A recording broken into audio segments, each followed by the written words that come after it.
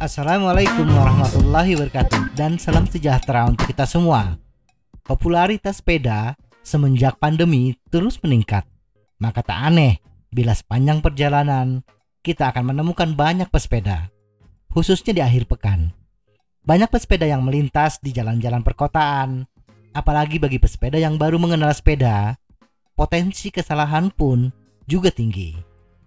Bagaimana menyalip pesepeda atau pengguna jalan lainnya dengan aman, melakukan drafting dan lain-lain merupakan faktor penyebab kecelakaan terbanyak. Karena itu sangat penting bagi pesepeda di jalur perkotaan mempraktikkan etika bersepeda yang baik. Ini bukan berarti ada pesepeda yang tidak beretika, tetapi karena pengalaman yang sedikit, mereka kurang memahami bagaimana bersepeda yang aman. Berikut ini beberapa etika di jalan bagi pesepeda.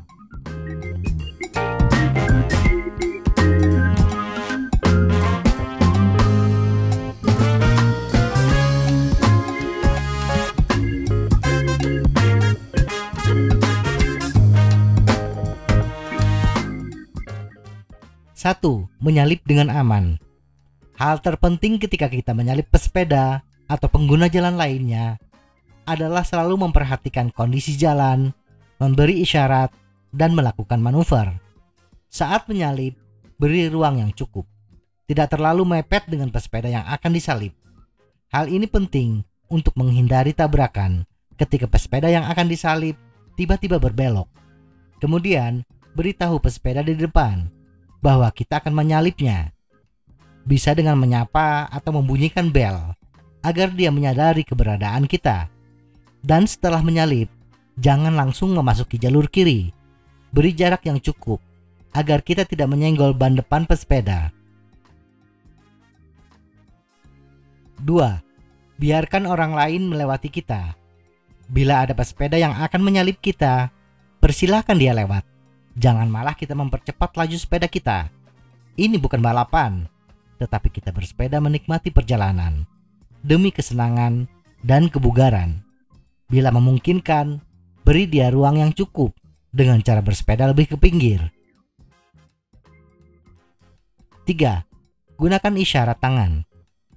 Sepeda tidak seperti kendaraan bermotor yang memiliki lampu sein. Oleh karena itu, ketika kita ingin berbelok atau berpindah jalur, selalu beri isyarat dengan menggunakan tangan. Bentangkan tangan sesuai arah berbelok kita. Ini akan memberikan peringatan bagi pengguna jalan lainnya untuk memberi kita kesempatan dan menghindari kecelakaan. Banyak isyarat tangan yang dikenal pesepeda, tetapi yang paling utama adalah isyarat berbelok.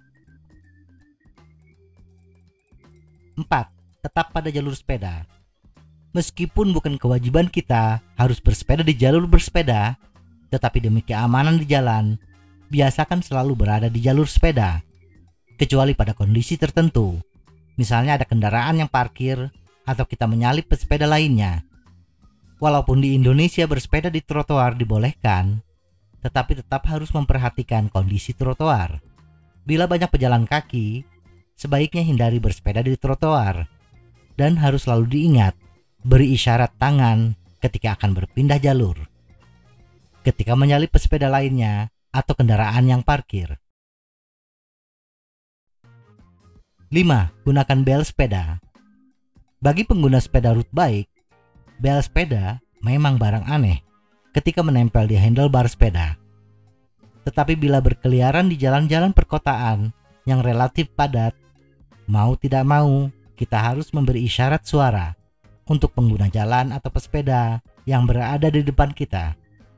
Kalau tidak memiliki bel sepeda, Anda bisa mengucapkan kata-kata yang sopan seperti permisi, punten, kulonungun, dan lain-lain. 6. Berhati-hati ketika drafting. Drafting adalah kondisi ketika Anda berada di belakang pesepeda lainnya. Bersepeda di belakang pesepeda lain memberikan Anda keuntungan yaitu berkurangnya hambatan udara yang harus dilawan, sehingga kayuhan relatif lebih mudah dan membutuhkan lebih sedikit tenaga ketika mengayuh. Drafting yang dilakukan oleh pesepeda di luar rombongan bagi sebagian pesepeda khususnya road bike, adalah tindakan yang tidak sopan, mengambil keuntungan dari orang lain. Tetapi bagi pesepeda pejuang akhir pekan, kadang-kadang secara tidak sengaja kita melakukan drafting. Karena pesepeda di depan kecepatannya rendah dan kita lagi tidak bernafsu menyalipnya. Agar drafting aman, tetap jaga jarak. Agar roda depan kita tidak menyenggol pesepeda di depan. Senggolan ini tidak terlalu membahayakan bagi pesepeda yang di depan, tetapi akan membahayakan kita karena kita akan kehilangan keseimbangan. 7. Ikuti aturan lalu lintas. Pesepeda bukanlah raja yang bisa menguasai seluruh badan jalan.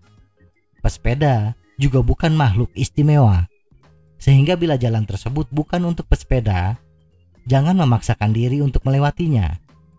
Pesepeda tidak harus memiliki ruas jalan tol khusus untuk pesepeda karena jalan tol sudah jelas peruntukannya untuk kendaraan bermotor roda 4. Kita, pesepeda, adalah bagian dari pengguna jalan lainnya. Maka kita pun harus menghormati pengguna jalan lainnya. Ikuti aturan lalu lintas. Ketika bertemu lampu merah, berhentilah. Ketika harus bersepeda di jalur kiri, ikutilah. Anda sopan, kami segan. Semoga informasi ini bermanfaat. Tetap sehat, salam goes.